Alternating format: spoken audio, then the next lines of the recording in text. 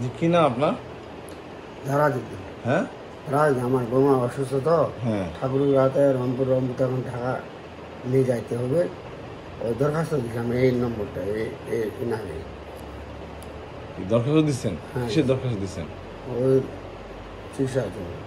কার আপনার বাবা মায়ের? না আমার বৌমার। আপনার বৌমার? কি হয়েছে আপনার বৌমার?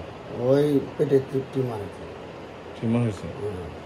এখন এই ঠাকুরাতে রংপুর রংপুর তো এখন ঢাকা আচ্ছা। কিছু নাই ওই জন্য এই নম্বরটা ওই নিচের কোনা যে আছে ওনার নম্বরটা লিখে দিয়েছে আমার ওনাকে দিয়েছিলাম দরখাস্ত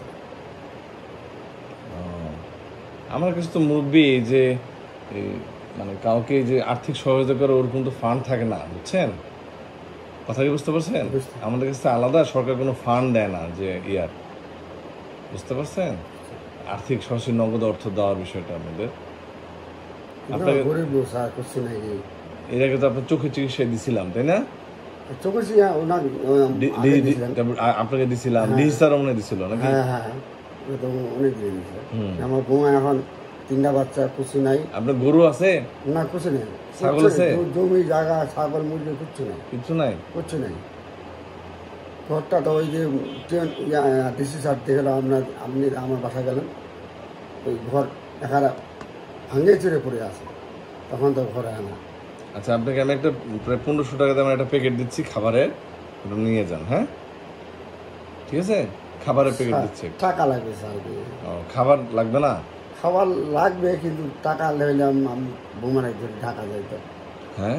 ঢাকা চিকিৎসা অপারেশন হতো চেয়ারম্যান সাহেবের সুপারিশ আছে? আবেদনে আবেদন কোথায়? তো ওই এই এই নম্বরে দিছি এই লোকটা। ওই লোকটা কে? কি নাম রুস্তম। আচ্ছা রুস্তম। দিচ্ছেন হুম। আচ্ছা দেখি আবেদনটা। এই ঘড়িটা একটু দেখেন না কি হলো? না হচ্ছে কেন? এখানে কোনো প্রবলেম এই রুস্তম কেটা বলেন তো যে এই লোক নাকি ওই ভদ্রলোক নাকি আবেদন দিয়েছে? আর্থিক সহযোগিতা কি নামে দিয়েছিলেন? দারাজুদ্দিন? ফরিদা ফরিদা ফরিদা ফরিদা ফরিদুল। ফরিদা ফরিদুল নামে নাকি আবেদন ছিল। টিউমার হয়েছে পেটে হ্যাঁ? শুনেন। আর ওই শেপকে ডাকেন তো?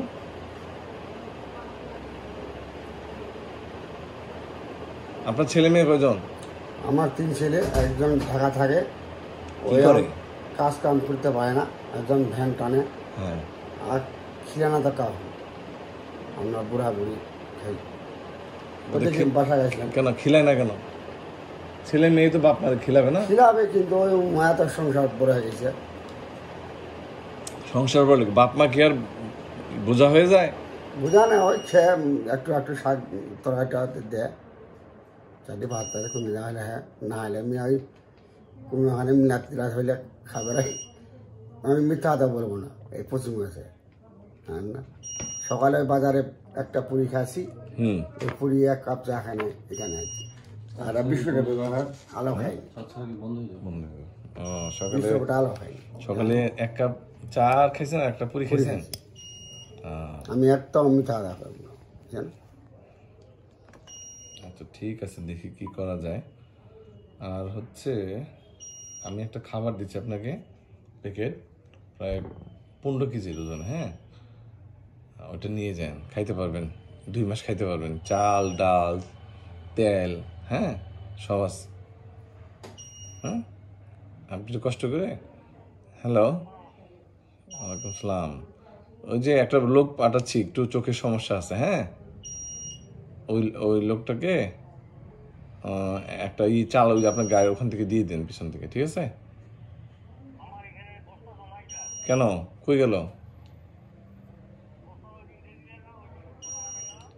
সবগুলো দেওয়া হয়েছে? ও আচ্ছা ঠিক আছে তাহলে দেখতেছি। আমার কেন